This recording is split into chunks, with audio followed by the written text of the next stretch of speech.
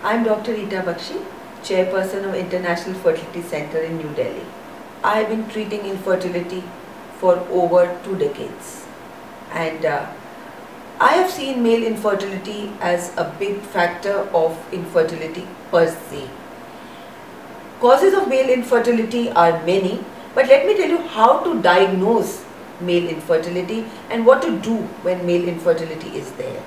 Now, the it is very easy when a couple comes to me, I always ask them that, you know, for a woman there are so many tests, but for a man, one single test of semen analysis just one semen analysis will diagnose whether everything is alright with the man or not.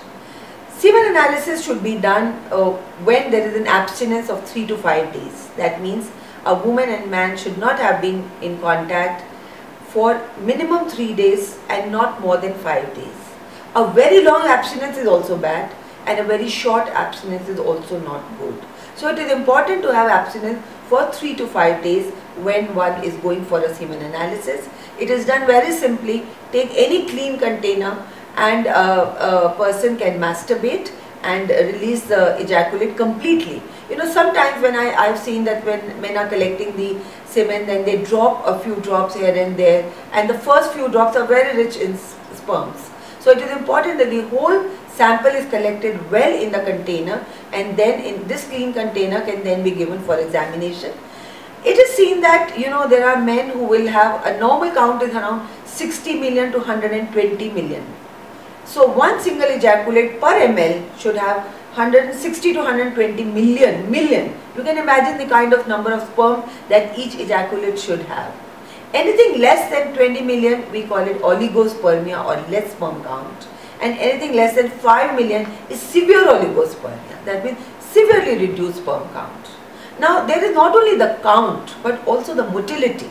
So we are, one has to see not only the number of sperm but how many of them are motile. So it is only the motile sperm which are important and the one which are progressively fast forward motile sperms. So it is important and more than 50% or at least minimum 30 to 50% of the sperms should be motile. Only then can you have a nice pregnancy. Also important is the morphology of the sperm. That means how do they look? Is there anything wrong in the sperm head or in the sperm tail? So what is called the morphology of the sperm? So it is important to look at the morphology, the motility and the number. All three functional parameters together to call a good sperm analysis. Now this is very simple. There are there are there, there will be times when there will be not a single sperm. What do we do now? we do a hormone analysis of the males. We see what is the testosterone level. We see the FSH, the LH. So what are the hormones which are being produced from the pituitary which go to the testes to produce sperm? Are they enough? Is there any failure? What is the, so hormonal tests, thyroid, prolactin, testosterone, FSH and LH levels are done. After you've done a hormone analysis and you find what if you can if you can do a physical examination of the male it is important to feel and palpate the testes. Is it a firm testes? Is it a very small atrophic testes?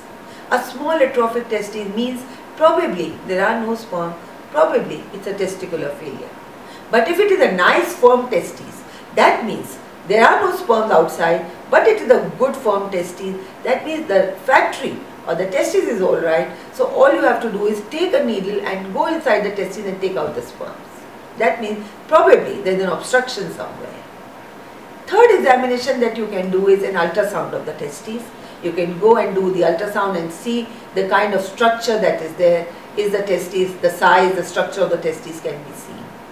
Besides this, one can do a genetic testing of the male to confirm that you know one looks like a male but sometimes there's an extra uh, you know there's an extra X in the in the genetic makeup. For example Klinefelter syndrome which has XXY so you know these are the males which will not have enough sperm or no sperm in their testes. So it is important to do a genetic makeup.